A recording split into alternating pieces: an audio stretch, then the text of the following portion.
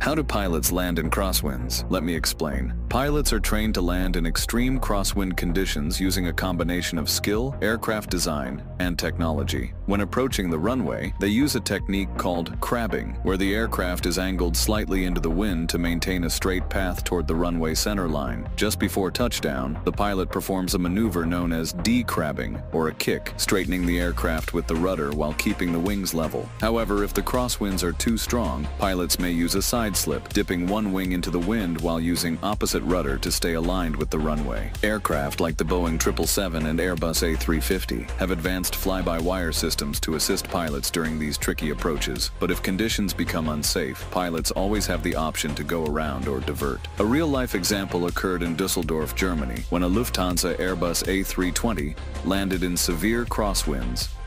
The aircraft nearly veered off the runway, but the pilots managed to recover at the last second.